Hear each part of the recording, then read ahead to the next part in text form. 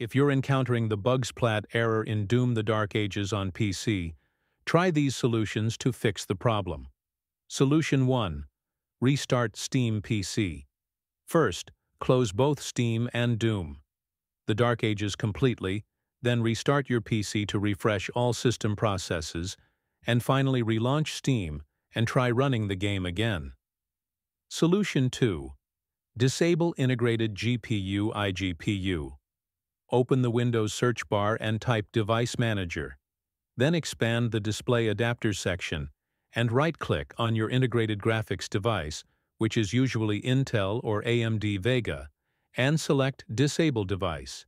After confirming the action, try launching the game once more. Solution 3. Force game to use high-performance GPU. Right-click on your desktop and select Display Settings. Scroll down to Graphics Settings. Then browse and add the Doom the Dark Ages.exe file. And after that, click on Options. Select High Performance Dedicated GPU. Save the changes. And finally launch the game to see if the Bugsplat error is resolved.